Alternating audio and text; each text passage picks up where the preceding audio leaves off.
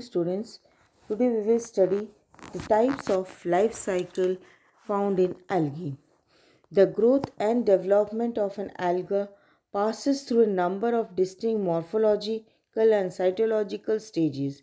The sequence of these orderly change is said to be the life cycle or life history. In other words the sequence of all the different phases or events through which an organism passes from the zygote of one generation species to another next generation is known as the life cycle. The union of male and female gametes results in the formation of zygote. As there is a doubling of chromosome chromosomal complement in zygote, it represents diploid stage.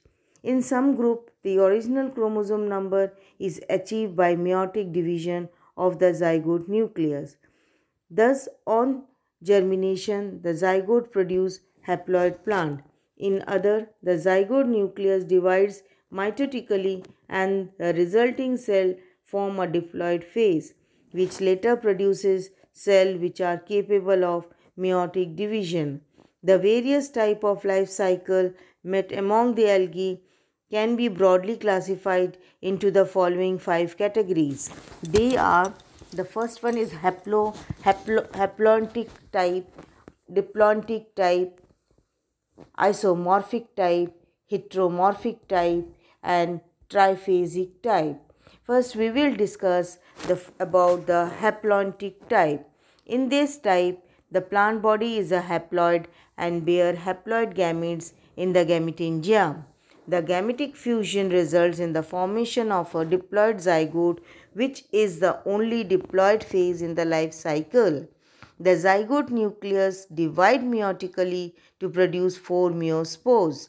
Each of these develop into new individual.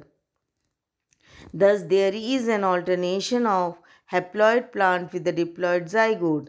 This type of life cycle occur in the meiotic in the motile unicellular form, example in Chlamydomonas and most multicellular green algae like Ulothrix, Oedogonium, Spirogyra and Zygnema and Chara. Diplobiontic type. Here the plant is diploid and it bears sex organ that is the gametangium which are also diploid.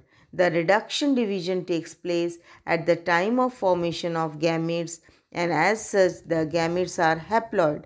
After gametic fusion, diploid stage is re-established and the zygote is formed.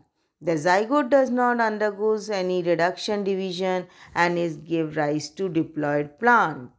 Thus, there is an alternation of diploid plant with the haploid gamete. These gametes representing the only haploid stage in the life cycle of the plant.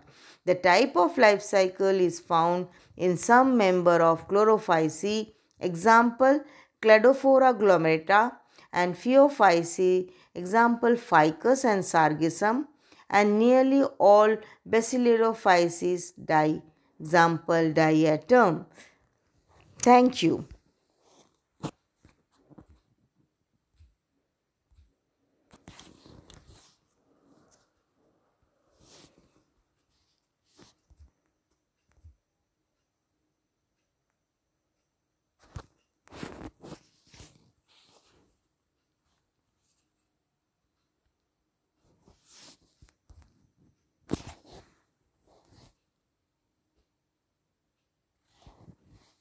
Morning student. These protective devices constitute the means of perennation.